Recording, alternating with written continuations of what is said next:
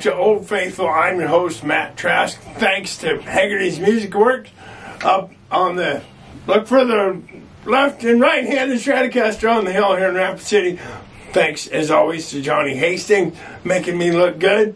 Behind the camera, please support my friends at Black Hills Blend Espresso for convenient locations here in Rapid City. Please like, share, and subscribe to my YouTube channel, Matthew Trask. If you, in fact, like this channel, and right after you watch this video, please go subscribe to the Haggerty's Music Works channel. They're doing fabulous work here. We have a guy on the show that I don't know well, but he had an interesting guitar, and I said, You got to be on the show. I met him at the Iron Phoenix open mic night. Right. He told me how to say your name, Keith Troili. Yep, most people just call me Keith. All right. But we had to throw the last name Okay. in for the show. Troili it is. So this is the part of the show where I tell you to tell us about you, All right. with well, emphasis on your musical journey or sure. whatever. My musical journey, I think it started at birth. That's probably my earliest memory is probably the song. Okay. So, so I think I inherited it. Um, I've always loved uh, various types of instruments. Um, I played guitar for a lot of my life. A lot of other things, a lot of acoustic things, Mm-hmm. and some uh, folk instruments and things have kind of dragged me along. And I, I saw uh, a couple of years ago um, a YouTube video of somebody playing his one of my favorite rock songs, but on a cigar box guitar. Oh. And so I kind of looked into the cigar box guitars and I found out a neat history of them. I found out that they are an ultimate folk instrument made with uh, repurposed um, cigar boxes, as Sure. you can imagine. This is actually a cigar box, a real cigar box. It does have an overlay, a vinyl overlay for the decor, but it's a it's a real cigar box. It's Wow. an Arturo Fuente. It's a thin box. These are really nice for this kind of instrument. Gives a lot of room for the musician here, and you'll see that it actually works as a sound box. So that's that's pretty cool. Um, so I, I I was I gravitated toward these after Right. seeing them. I bought my first one and really fell in love with the tone of it. Sure. And um, I did learn a little bit about uh, alternative tunings, and that's what I get out of this. Is a for musicians, it's an open G tuning, Okay.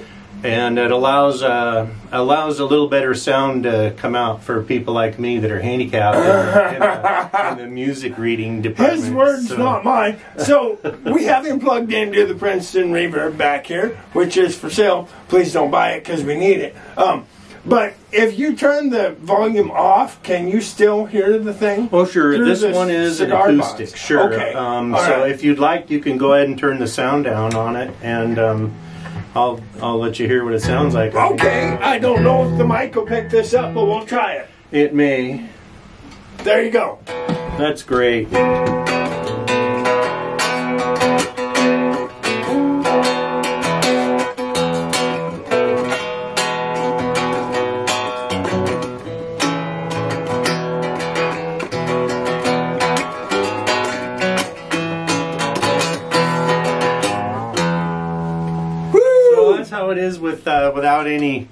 Any uh, amplification, and this one just has a piezoelectric uh, pickup in it, just Sure. a very very simple one. Right. Um, but I do have a few uh, cigar box guitars that are fully electric, and Oh, I think I mentioned one too that's got a, just a beautiful uh, pickup in it for, Mm-hmm. for again for musicians. Very nice uh, P90 pickup in it, so it can really jam for Oh, yeah. people that know how to play Did it. you but, uh, learn your favorite rock song on I- a cigar box I didn't. guitar? You No. did not.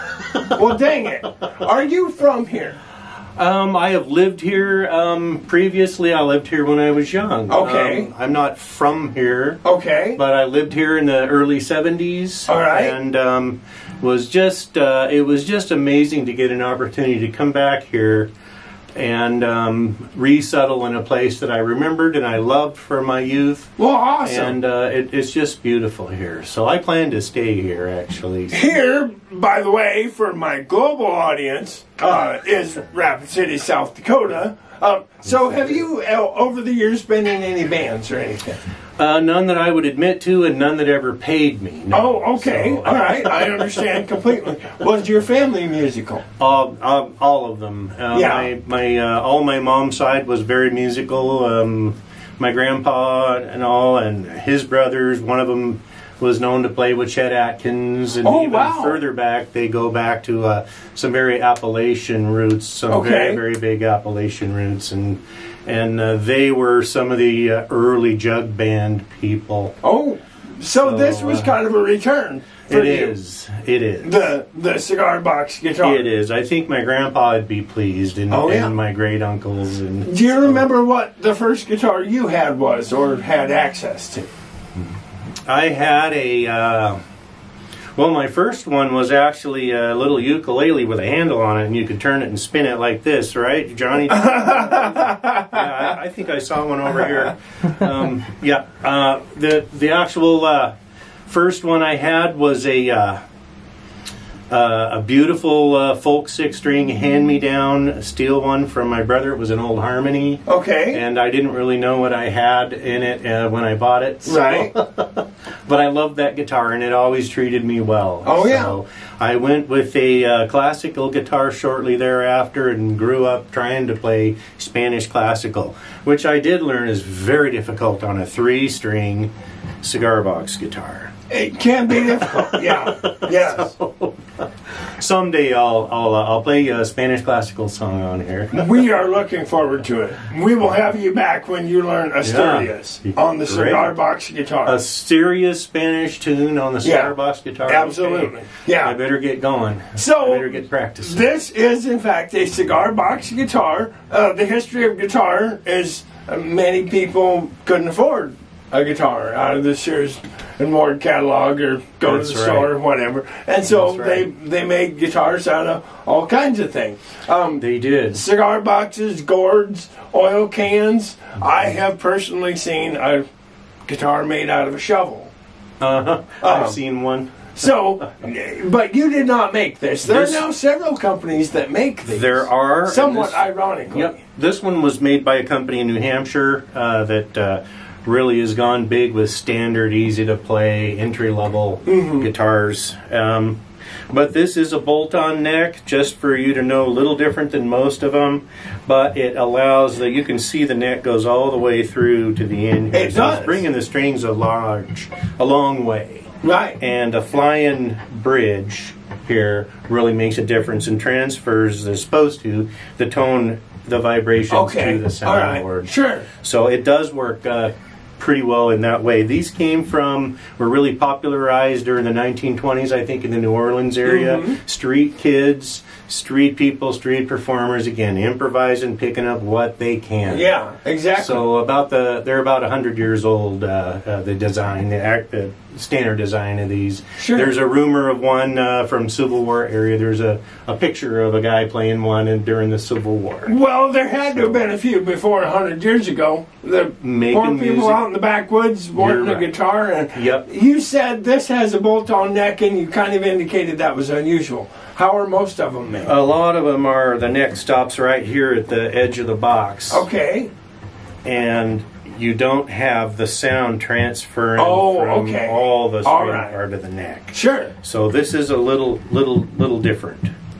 So, but they're all different in a way. Okay, There- there's sure. a lot of different styles. And like you said, you can get guitars made out of just about anything. You really there's can. some really creative Yeah. people. You will find there's some really good artisans out there that have gotten into cigar box guitars. Yeah. and you can now spend um, a lot of money. Again, somewhat ironically. Mhm. Yeah. Mhm. Uh, you could probably waste uh, 12 hours of your life on reverb looking at cigar Yeah. Or you can buy one uh, a kit for fifty dollars online and build it and um, just have a good time. Have we it. tried that yet? I have. I've I've built one. Really? Does it work? It, it Did you do a good job? It did quite well. Well, Uh, it didn't have any electronics, okay. so I don't use it for um, engagements or Right. anything. So.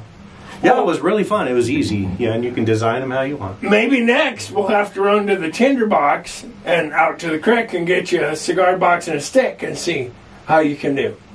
I think that sounds like a challenge.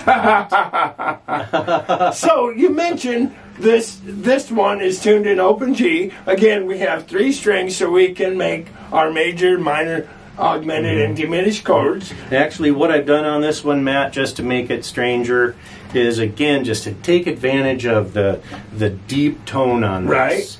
I've down tuned it. It's now tuned to uh, EBE, Okay. which is the same relationship as GDG. Sure. All right. Just a little lower and just a little more throaty. that was That's where where I'm was going. going. Right. What What was your tuning? So you you started in no name those notes. Uh, The again. standard recommended tuning for cigar box guitars, or the one that's just been popular for people, is GDG. GDG. Correct. So it's essentially a power chord. Now I'm getting a little Exactly. wonky. Not a true one three five chord. Okay. One, yeah. but it is a an open chord. Right. Yes. It is. An open power chord. Yep. Yeah. Uh, have you tried any other tunings? Not yet. No. No. Are, are there any other popular tunings? I am not sure about Really? that. I am not sure. We're getting a touch wonky now, aren't Mm-hmm. we? Yeah. So, do we have anything more that we need to talk about? Um, How many of these do you have now? oh, now we're getting to the confessions. Oh, Uh, I think I have nine of them. Does that that doesn't include the one that's on the way in the mail? I no, have nine no, it them. doesn't include. Technically, I have nine at this Okay. moment. All right. Sounds good. Do we have any uh, traditional six-string guitars? We do. Yeah. Uh, Do five we or have six of eh, those. Do we have anything else that we need to bring on the show? I play bass guitar. Okay. I've, I've uh, really had a lot of fun with electronic keyboard. okay. Had a very fun time with that. I picked up an antique uh, pump organ, a reed organ, Wow. a few years ago, and uh, got a good deal on it because it wasn't working. Mm-hmm. And I took it apart and I figured out what wasn't working and I fixed it, and the thing just plays beautifully. That is fun.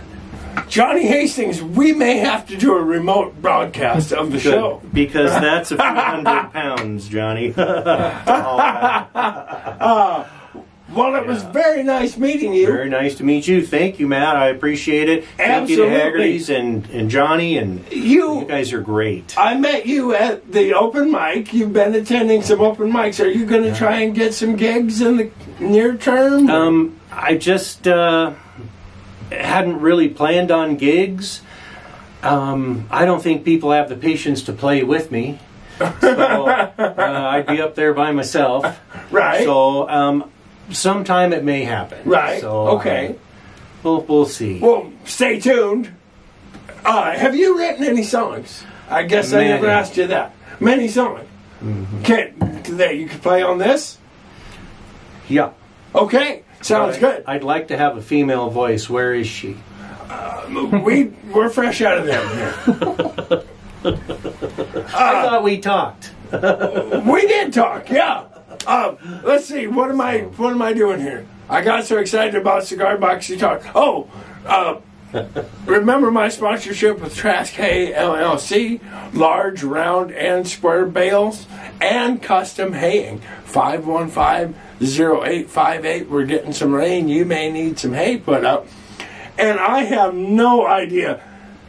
Brushy one string says change your string Change your string. Change your string. He plays one string, you know. Ah. Yeah. Do you know who Brushy One String is? You'll have to look him up. I'm gonna find him. Okay, sounds good.